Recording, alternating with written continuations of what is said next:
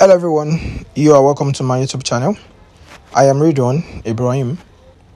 In this series of episode, I will be making an elaborate estimation of the gable roof carcass.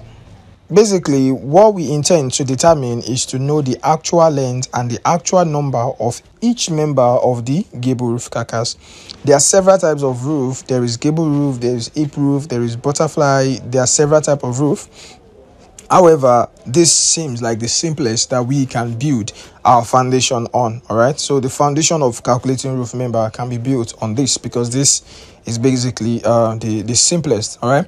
Although there are different type of gable roof. All right. This is the dropped gable roof. This is basically called the dropped gable roof. Okay. It could be boxed. It could be unboxed. Okay. So this is what um, the configuration looks like. This is the type. This is exactly the one we will be we will be analyzing okay? So we have to determine all all roof member here.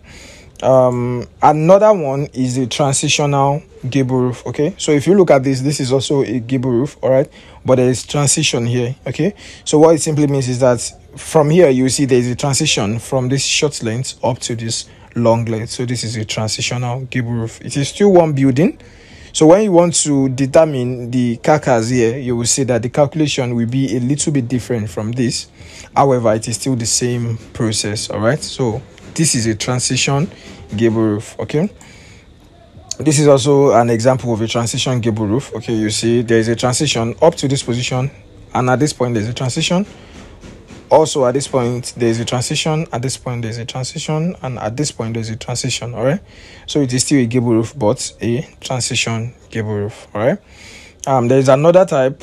This is called a cross uh gable roof all right? A cross gable roof all right? A cross gable roof simply means when you have two gable roof going in different direction all right? If you see the ridge line of this the ridge of this is in this direction However, the ridge of this is in this direction and the two ridges are now crossing.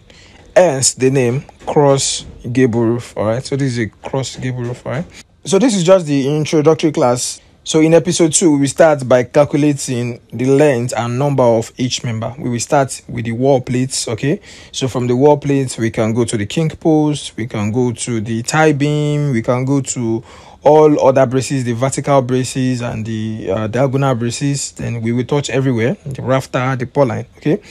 If you are not conversant with the name of each component of the roof, you can check the link of the video that I have put in the description of this particular video.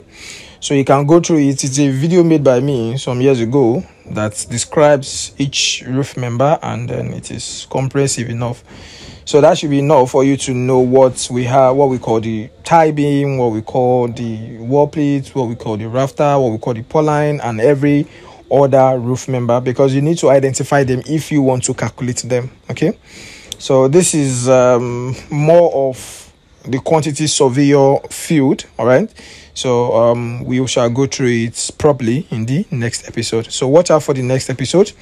If you like this video, make sure you give it a like. And if you haven't subscribed to my YouTube channel, kindly uh, subscribe to my YouTube channel. And thanks for watching.